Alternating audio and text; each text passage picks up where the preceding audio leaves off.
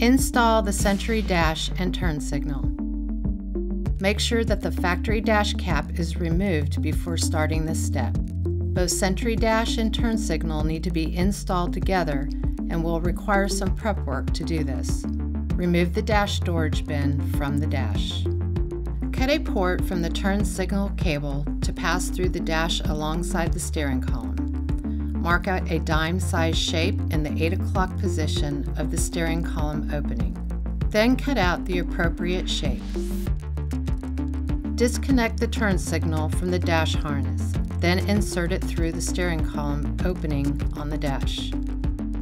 Next, install the turn signal and dash together by easing the dash and turn signal down over the steering wheel column.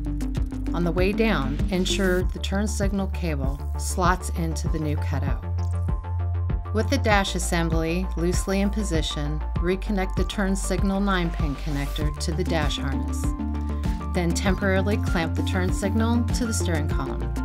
The turn signal will be permanently installed later during the pilot steering wheel installation.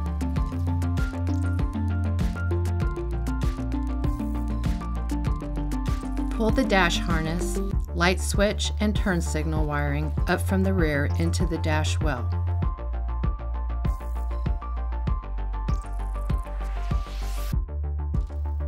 Also, make sure the bucket harness to the dash harness connection is neatly tucked up behind the dash at the cup holder area.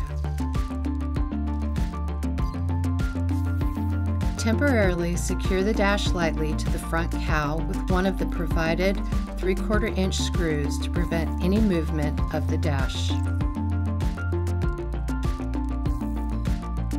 Finally, install all the color trim. Partially peel back the protective film from the edges, which prevents scratches during the installation.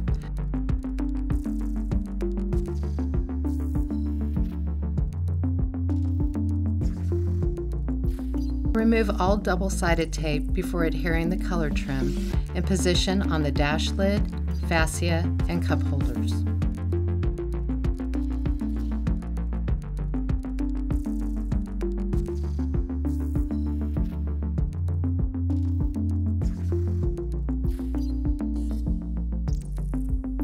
Double take, because looks matter.